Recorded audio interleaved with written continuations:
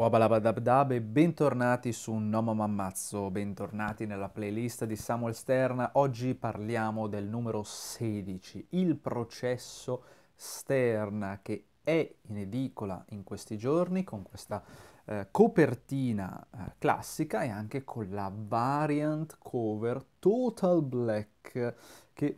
sta benissimo accanto alla white cover del numero 7 l'agenzia. Prima di cominciare vi ricordo sempre di iscrivervi al mio canale se non lo avete ancora fatto, di attivare la campanella delle notifiche per rimanere aggiornati su tutti i video che usciranno d'ora in poi, di condividere il video con tutte le persone che hanno subito un processo e di commentare qui sotto con quello che venne parso di questo numero e in generale di Samo Esterna, se vi sta piacendo, cosa pensate eh, che succederà d'ora in poi. Vi ricordo anche di iscrivervi agli altri miei social per rimanere un po' sintonizzati sempre su quello che faccio. Ora, bando alle ciance, il processo Stern, numero per appassionati, numero che premia finalmente chi lo ha seguito fino ad ora. È un numero che fa, come dice lo stesso autore, lo stesso Fumasoli, eh, numero che fa un salto nel rivelarci qualcosina di più sul protagonista, qualcosina che da ben 15 numeri eh, ci chiedevamo mh, mm, cosa fosse successo. Mi riferisco alla vicenda personale di Samuel Stern che è stata semplicemente mh, mm, fatta annusare fino ad ora, ovvero che lui prima del numero uno ha avuto eh, un incidente con la moglie e con la figlia, al punto che la moglie eh, ha perso la vita e la figlia eh, è stata portata da Samuel stesso in un orfanotrofio perché Samuel stesso non, eh, non si sente in grado di tenere al sicuro la propria figlia Lily. Finalmente qua si scopre cosa è successo, devo dire che io mi aspettavo tutt'altro, poi adesso magari ne parliamo insieme, ma parliamo un pochino anche proprio del processo Stern. Dicevo, è un numero per appassionati perché grazie a questo processo Stern, dove appunto Samuel Stern viene messo eh, letteralmente sul banco degli accusati, vediamo un po' una serie di vecchie glorie che abbiamo visto nei numeri scorsi. È pieno pieno di asterischi questo numero per ricordarci appunto dove abbiamo visto tutti questi testimoni che finiscono al bancone dei testimoni per accusare Samuel Stern e tutte le persone che sono state aiutate da Samuel Stern eh, nei numeri scorsi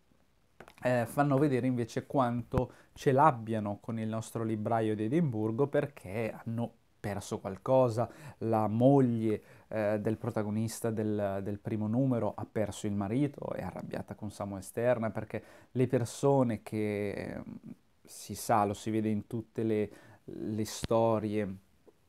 varie di fantasia, le persone che hanno a che fare con il soprannaturale poi tendono a razionalizzare quello che gli è successo e spesso a incolpare le persone che, che le salvano, in questo caso Samuel Stern, quindi la moglie ha perso il marito, eh, poi fanno vedere il, il povero disgraziato che aveva il demone che chiamava Ringo nel numero 3 Legione, che è rimasto solo, che è, è, un po' strano che sia al banco dei testimoni, dato che nel finale del terzo numero pare aver commesso una strage in una caffetteria, quindi in teoria dovrebbe essere in galera, però è al banco dei testimoni. Poi vediamo eh, anche la moglie del recentissimo numero 14, se non sbaglio, la, la signora Dunbar, che era appunto la moglie dell'indemoniato con la doppia personalità, che poi è diventato un demone incarnato, eh, tutte queste persone ce l'hanno con Samuel Stern. È bellissimo vedere questa, eh, neanche Rogue Gallery, comunque vedere i parenti di questa Rogue Gallery che ci siamo smazzulati fino ad ora e vedere come effettivamente le conseguenze di quello che ha fatto Samuel nel mondo reale eh, possono essere anche queste. Ehm, Faccio spoiler ragazzi, faccio più spoiler di quanto non abbia fatto adesso, quindi ok, se non l'avete letto mi raccomando.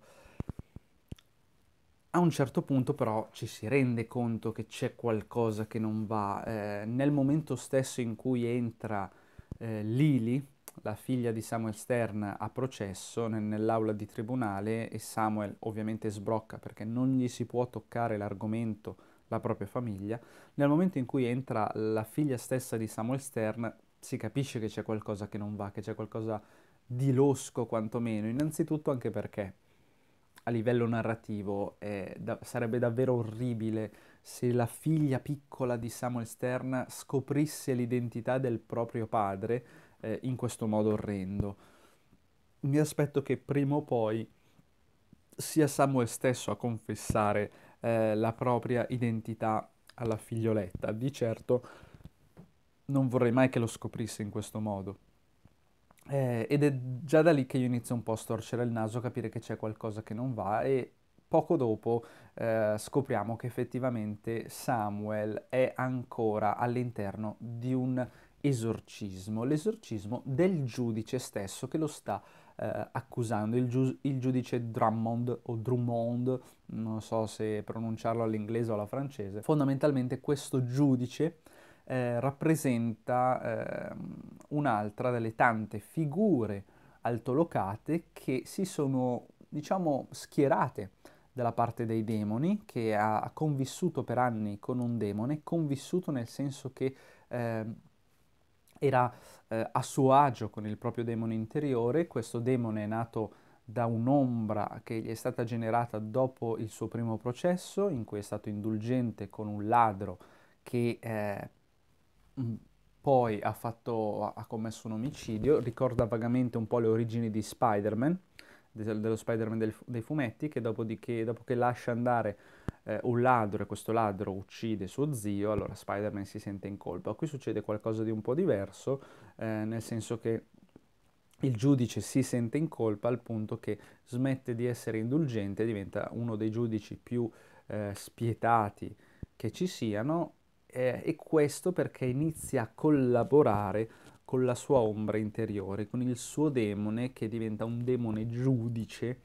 che mh, mm, vuole punire tutti quanti. Questo demone interiore sta morendo esattamente come sta morendo il giudice Drummond che è sul letto di morte e per qualche ragione questo demone interiore sa che là fuori c'è il libraio di Edimburgo che si occupa di ammazzare tutti i demoni e quindi vuole tene- tendergli una trappola, vuole tendergli un'imboscata, vuole ehm, rapire questo, la mente, l'anima, la coscienza di Samuel Stern all'interno eh, appunto del corpo del giudice che sta morendo, in modo da intrappolarlo per sempre, in modo da uccidere fondamentalmente anche Samuel Stern. E lo uccide, nel senso quello che noi assistiamo internamente è appunto il processo Stern, in realtà è la coscienza di Samuel Stern che è intrappolata all'interno del giudice Drummond. Una storia eh, che mi è piaciuta tanto, mi è piaciuto il, lo stile narrativo totalmente diverso dal solito, totalmente onirico, ehm, uno stile che non si era mai visto prima in Samuel Stern, mi piace che iniziano finalmente un pochino a sperimentare, senza fare cose troppo strane comunque per carità. Ehm, mi piace ovviamente l'omaggio al fatto che hanno citato tutti i comprimari che ci sono stati finora in Samuel Stern e mi piace finalmente che abbiano appunto parlato della, della vicenda di Samuel Stern. Come dicevo, eh, qua scopriamo finalmente cosa è successo alla moglie. Pare che la moglie, io pensavo onestamente che la moglie fosse malata di qualcosa, fosse malata, eh, ricordo delle scene in flashback in cui lei era sul letto di ospedale, se non ricordo male, quindi non so se c'è un errore di continuity o se quello che vediamo è mm, un ricordo un po' falsato dal demone stesso, però qui pare che la moglie stia morendo eh, sul posto Invece in passato, se non sbaglio, era stata anche in ospedale a parlare con Samuel, quindi non lo so se è corretta la cosa, se è un errore, eh,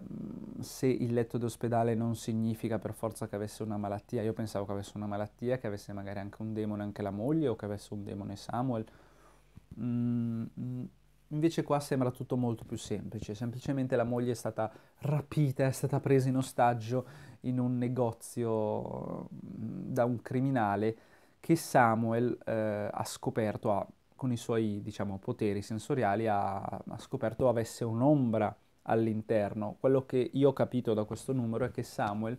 eh, volesse aggredire diciamo, questo rapinatore dopo che aveva liberato la moglie, invece di lasciarlo andare non tanto perché è un impetuoso scozzese che voleva picchiarlo, ma perché ha visto in lui un'ombra e toccandolo voleva esorcizzarlo. Ora, così facendolo, è partito un colpo di pistola e la moglie è rimasta gravemente ferita. mm, mi sembra un po' semplice rispetto al discorso che dicevo, cioè ero convintissimo che la moglie avesse qualcosa, una malattia che l'avesse strappata a Samuel in modo mon- molto lento e che fosse legata in qualche modo al mondo demoniaco. Invece qua sembra che è successo qualcosa di un po' più veloce. Mm, non lo so, ditemi voi se la mia memoria mi inganna, scrivetemelo nei commenti oppure se effettivamente anche voi ricordate la moglie di Samuel sul letto di ospedale, sul letto di morte. Eh, vabbè, a parte questo, mm, sono comunque soddisfatto di aver scoperto finalmente qualcosina in più di Samuel, eh, sono soddisfatto di aver scoperto qualcosina in più sul fatto che ha lasciato Lily in orfanotrofio per questo motivo, anche se già lo sapevo, cioè già si era capito che aveva lasciato Lily in orfanotrofio perché non voleva che le succedesse qualcosa a causa sua. Pensavo che c'entrassero molto di più i demoni, eh, pensavo che lasciarla in un orfanotrofio circondato da suore proteggesse Lily. Pensavo che eh, questo fosse il modo per tenerla lontana dai demoni. Eh, è un po' semplicistica questa soluzione, però ripeto, siamo nella testa del demone, quindi potrebbero essere ricordi leggermente alterati. Mm, mi sembra strano, mi sembra più un, piccolo errorino di semplicità, però mm, voglio sperare che magari si sviluppi in modo più approfondito eh, l'origin story di Samuel. Tutto lì. Uh, finale fantastico, mi è piaciuto tantissimo che Samuel utilizzi, eh, diciamo, la pelliccia del demone per poter uscire dal corpo del giudice e rientrare nel suo, quindi vedere questo Samuel demone mi è piaciuto molto, eh, piccolo escamotage per avere un mostriciattolo familiare, è stata cosa molto carina, in generale eh, un numero particolare, non sarà sicuramente il mio preferito, eh, per i motivi che ho appena detto, però un numero davvero mh, mm, che alza un po' il livello, che ci, ci fa approfondire eh, questo, questo, personaggio. Spero che non sia, che non bisogna aspettare ancora molto mh, mm, per approfondirlo ancora un po' di più. Vediamo insieme cosa succederà in futuro. Voi Fatemi sapere cosa avete preso. Avete preso la, la copertina normale? Avete preso la cover variant? Le avete prese entrambi come ho fatto io? Fatemelo sapere qui sotto in descrizione. Io come sempre, con l'inchino e con l'imbuto, vi saluto e vi dico arrivederci al prossimo video.